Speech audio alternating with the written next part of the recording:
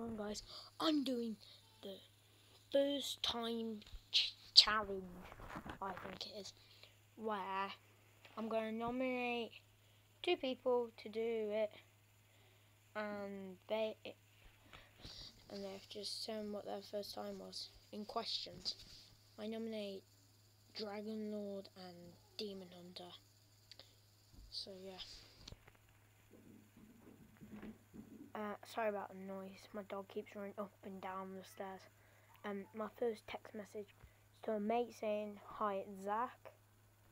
A good friend. His name's Dragon Lord. he was the first text I ever sent to. Um, the first game you ever played. Uh, it was on PS2 and it was Cars 2. Yeah. Two twos equals four. Yeah, I'm smart. Mess with me, do you? Next.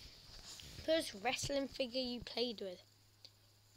Well, actually, the when I got started getting into wrestlers and everything, I had my mum and dad were so supportive of. They bought me four, two, two. That's four. Two, uh, two of the battle packs. So I had four.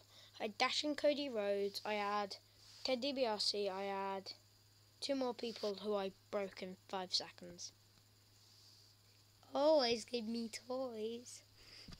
Um, first bed you slept in. This one. First friend you made. Can't say his full name, but let's just say his name. First name's Charlie.